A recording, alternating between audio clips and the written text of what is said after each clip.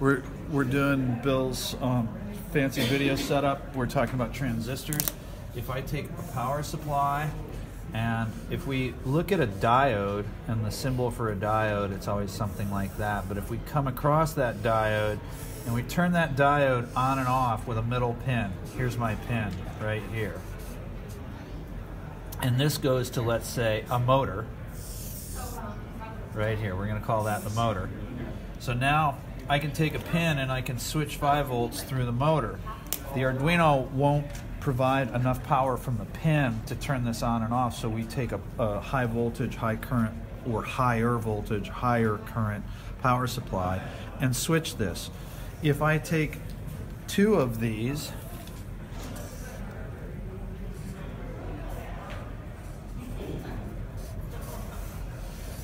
and put them together, here's another pin GND, ground, right here, right? I now can switch the whole system from two pins. But if I come over here and I do another one like this,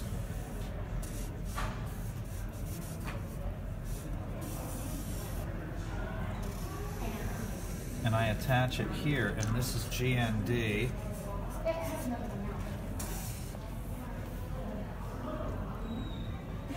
this comes out. And this is 5V right here. And here's my, uh, oh, there's my transistor coming in there. My brick, my drawing skills are, so we're gonna call this pin A, pin B, pin C, and pin D. So now when I turn on pins D and B, power flows this way through the motor and it spins one way. When I turn on pins A and C, power goes the other way and the motor spins the opposite way. This is called an H-bridge driver.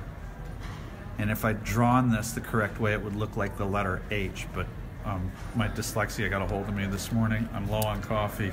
No, it's it, it's it's good and symmetrical, and it makes sense because you can kind of see there. There's the one circuit that goes one way, and the other circuit that goes the other way, right? From yep. So we embed all these circuits like we usually use a separate chip that has all these transistors built into it, and that's an H-bridge drive.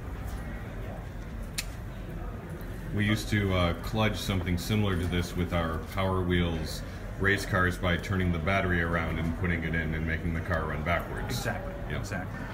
Bill, how do we